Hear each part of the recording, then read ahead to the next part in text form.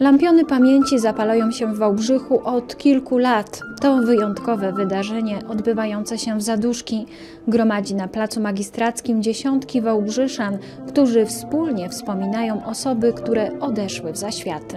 Wśród wybitnych postaci, które wspominano tego wieczoru, był były komendant Straży Miejskiej Jerzy Karski, ksiądz prałat Andrzej Raszpla, David Bowie, Umberto Eco.